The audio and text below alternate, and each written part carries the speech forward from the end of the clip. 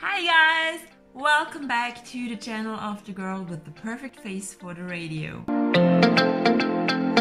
I just came back from today's Wings for Life World Run.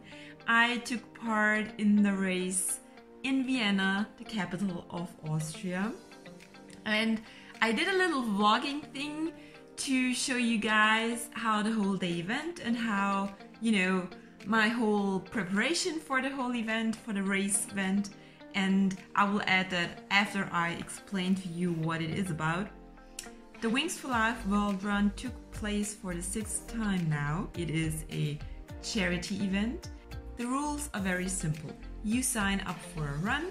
You can choose from event runs. Those are the ones you might watch in TV or, you know, just like marathons or things like that, where you have a starting line and where all of the participants get their starting numbers and things like that.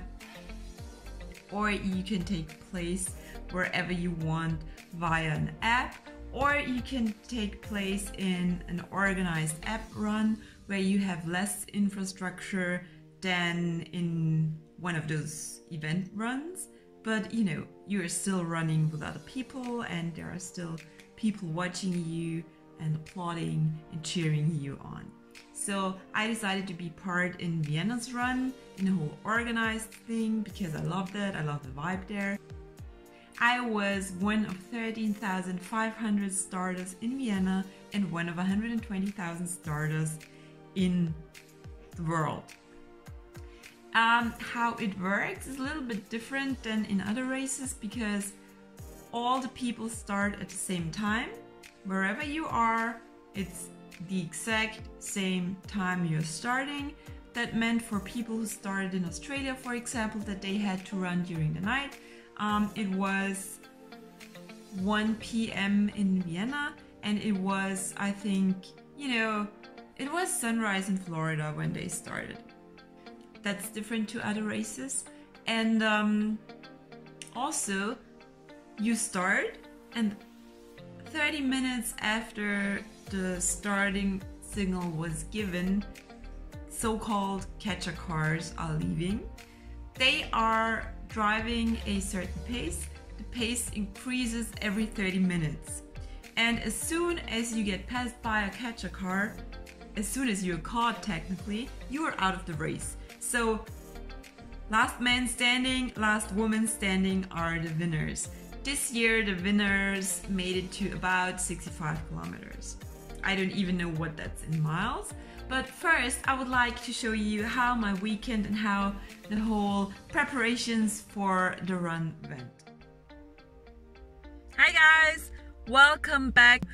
I just arrived in my little hometown because here I will go for a last training run before I'm taking part in Sunday's Wings for Life World Run. So keep your fingers crossed that everything goes the way I plan it because I do not want to hurt myself before the big day.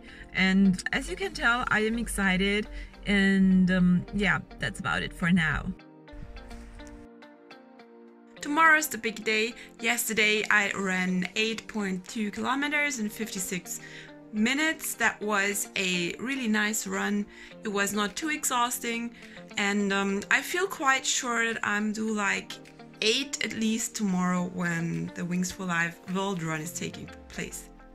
Right now, I am on my way to get me some new running pants because mine are quite loose by now and of course I do not want to risk that I'm losing my pants tomorrow while running. That would be very, very embarrassing as I'll be surrounded by 13,500 runners, a lot of spectators, and you know, there are cameras and everything.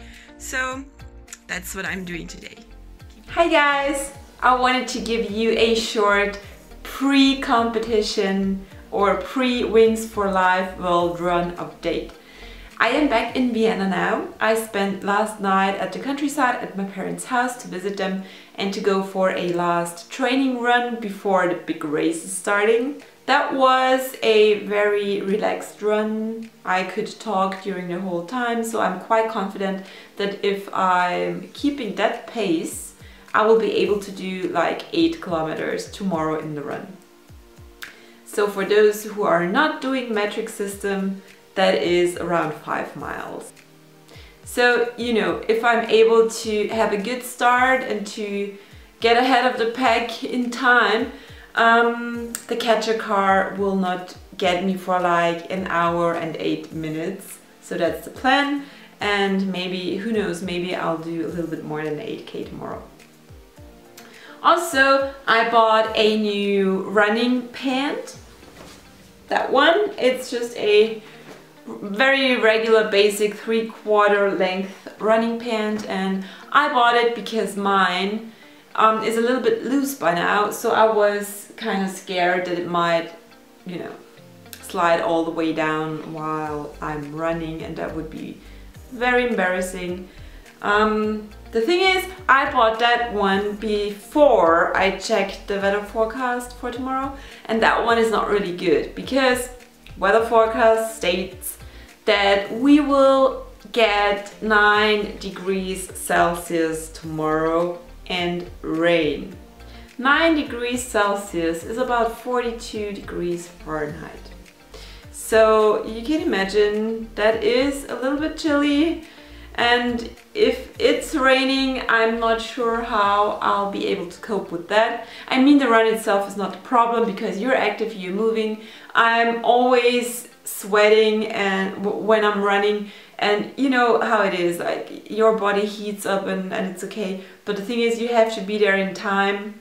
You have to wait in your starting position. And there's entertainment. You have to pick up your starting number and you know it's just you have to be there ahead of time. And I'm not really looking forward to stand there in the rain waiting for the starting sign.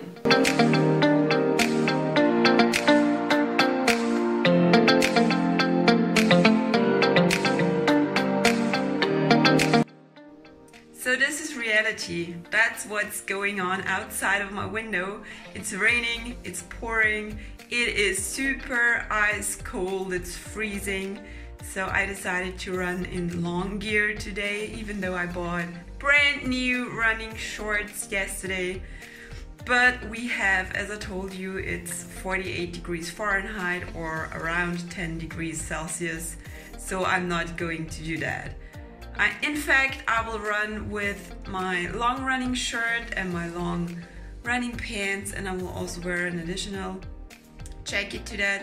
And yeah I put lipstick on because you know at least I would like to look kind of okay even though I will be drenched and soaked.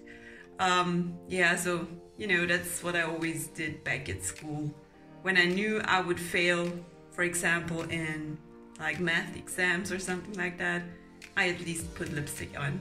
So I will keep you updated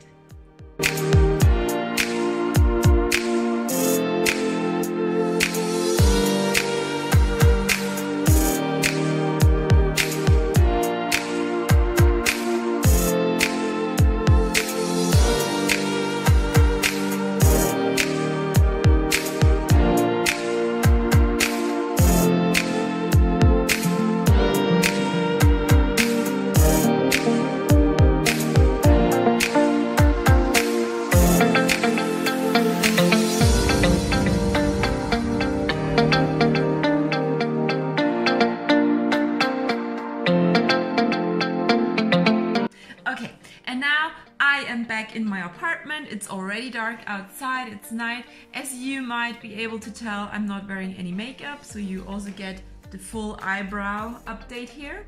So that's how my eyebrows look if I don't do anything um, to them and with them. I am wearing this year's World Run shirt. It is a medium size, it is a size 38 European size and I love that it fits me. So that was a nice surprise. The whole race was a great experience. I made it to 12.4 kilometers. That is 7.7 miles. So I was able to escape the catcher cars for like one hour and 20 minutes. And all I wanted to do, like my goal, was five miles and I exceeded my goal. So I did around, it's 50% more than I planned to. But you know, the vibe was good, the whole feeling was great, everything was just great. I loved it. The only downside of the whole thing was that it was pouring, it was raining during the whole race, it was raining from when I opened my eyes this morning, it's still raining, so that was, you know, that's a little bit annoying because usually there's some sort of party going on after the race and you have all those warm ups before the race. Um, of course, due to the rain, that was just not possible, but there were ebb runs in Austria um, where the participants had to run through the snow.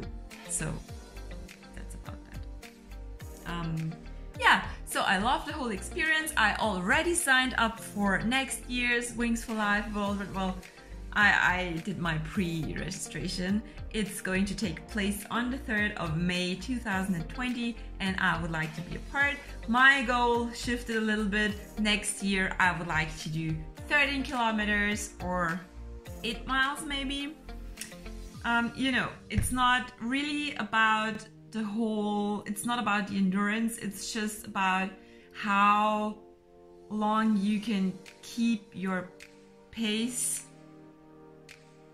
to escape them so I don't really know how to train for that I, I'm really I don't know but it was great fun I can recommend it to everybody so I will do the whole editing shebang now, post it now. I don't know when you guys when you guys are going to see it, but I would like to post my weight loss update tomorrow, so I will do that now. See you soon. Oh, oh if you liked what you saw, if you like the channel of the girl with the perfect face for the radio, make sure to like, click the subscribe button, the bell notification, everything. You know how YouTube works. Thanks a lot and see you soon.